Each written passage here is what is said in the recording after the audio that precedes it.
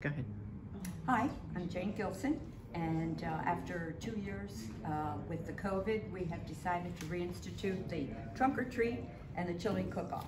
So what we require is you to bring your car back to the back parking lot here at the Pittenger Center, open your trunk, decorate it, and fill it with candy. All the children will be coming along, decorated, and we make them real happy. Then, that's 4.30 to 5.30, then we come in for the chili cook-off.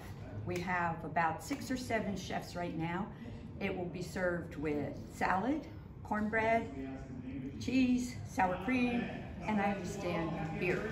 So please, I need you to sign up for either the trunk or to cook chili, or if not, just come and eat the chili. Five dollars per person, and if you have a large family, it's only twenty dollars. The support of this affair then is to support the outreach committee, which of course you know does such good work outside.